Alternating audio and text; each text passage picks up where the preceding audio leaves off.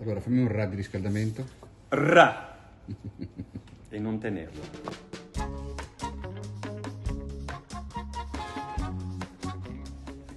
Buongiorno a tutti. In queste giornate un po' convulse abbiamo deciso di dedicare un po' di spazio alla didattica attraverso una serie di microstorie surreali da me create in tempi non sospetti, intitolata La saga del Giovin Serpente. Cosa potete fare?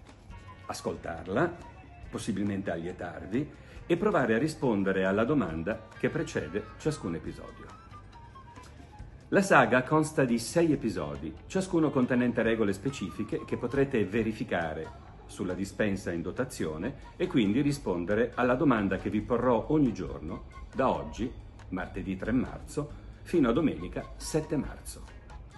Buon divertimento!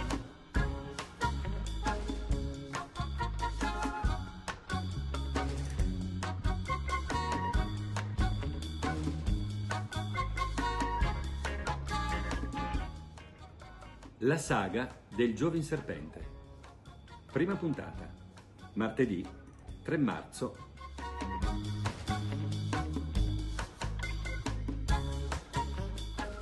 Il dittongo ye apre sempre, ma qui ci sono tre parole che si comportano diversamente e una che si può pronunciare in entrambi i modi. Quali sono?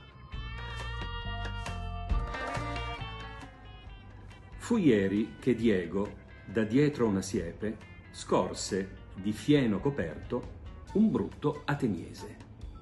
Niente, disse all'osco straniero, ma solo un bicchiere di miele, gli porse. Non senza pensiero, lo beve d'un fiato. Gli diede un biglietto. Lo sguardo era schietto. Non chiedere niente di ieri o di oggi, sian dieci o sian tre, i biechi sovrani. Così stava scritto.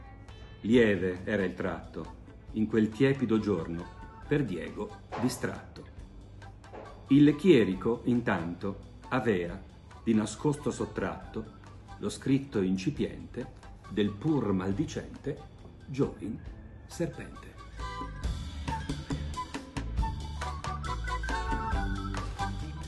La risposta domani in apertura della seconda puntata.